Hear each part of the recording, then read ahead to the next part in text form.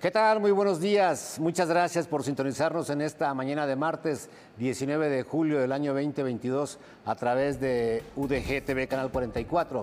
Acompáñenme rápidamente a un recorrido informativo tanto a nivel nacional como internacional y comenzamos con lo siguiente. La tercera autopsia practicada a la joven Devin Escobar a tres meses de su muerte reveló que murió por ahorcamiento, informó la Secretaría de Seguridad Pública.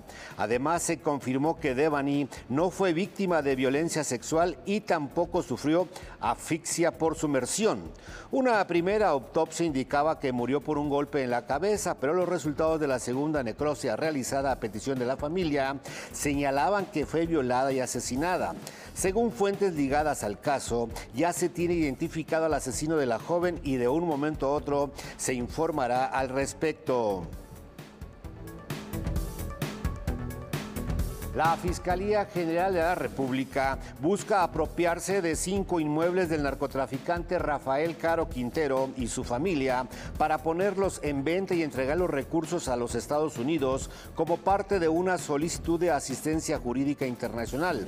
La dependencia presentó una demanda de extinción de dominio sobre los bienes de la familia Caro Elenes para hacer efectiva una sentencia dictada el 15 de abril del año 2021 por la Corte Federal de Distrito en el este de Nueva York, donde se, declaró el decomiso civil de los inmuebles.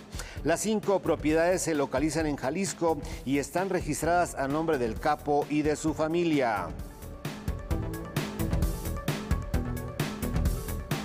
El director general del Fondo Nacional para el Fomento al Turismo, Javier May, reconoció que los trabajos de construcción en el tramo 5 del tren Maya fueron reiniciados luego de que el Consejo de Seguridad Nacional lo declaró como obra prioritaria y de seguridad nacional por las vías férreas.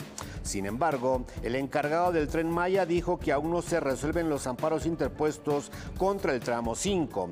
Al respecto, la organización Greenpeace México realizó una protesta pacífica para denunciar el reinicio ilegal de las obras a pesar de los amparos que están vigentes para frenar el tramo 5 que abarca la Riviera Maya.